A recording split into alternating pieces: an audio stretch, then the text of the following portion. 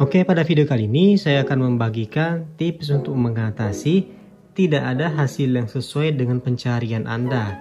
Jadi ketika membuka Yandex muncul tampilan seperti ini. Sudah pakai proxy ataupun VPN tapi tidak berhasil juga.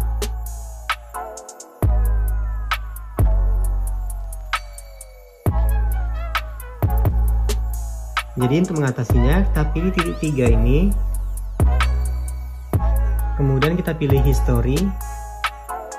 Lalu kita hapus data penjelajahan.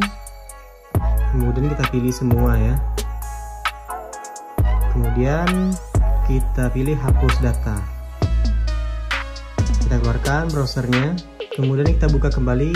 Di sini kita lakukan perubahan dari save search Google-nya terlebih dahulu ya. Jadi kita cari di sini google.com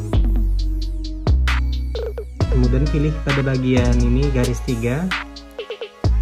Kemudian pilih bagian search lalu di sini kita nonaktifkan terlebih dahulu. Maka dari itu kita aktifkan VPN kita aktifkan kemudian kita koneksikan VPN nya kita sambungkan. Jika sudah tersambung kita buka kembali browsernya. Lalu kita kembali. Kita refresh kemudian kita buka lagi ya di bagian garis tiga ini. Lalu di bagian save search dan dia sudah terbuka di sini.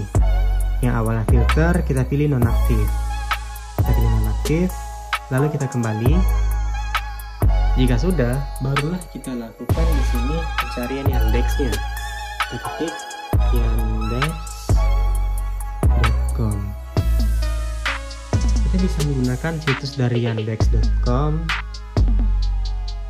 kita ubah save browsingnya. Di bagian tiga ini.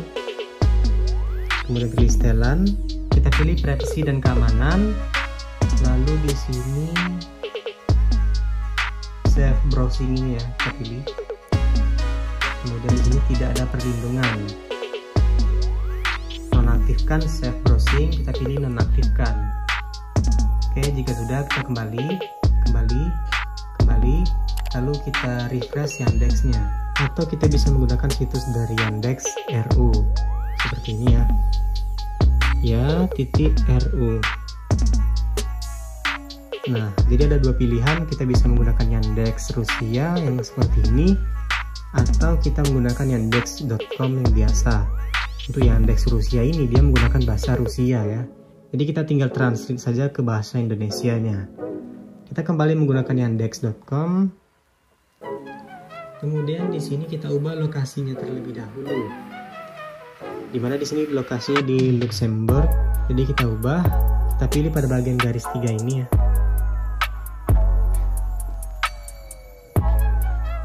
Kemudian bagian pengaturan, lalu di bagian location, di tag automatically ini kita hilangkan. City untuk kotanya kita pilih Singapura. Nah ini. Kita pilih Singapura dan dia akan berubah Singapura di sini.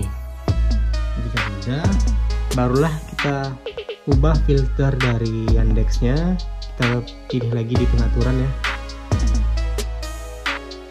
Kemudian di bagian search di sini kita pilih no filter lalu kita simpan.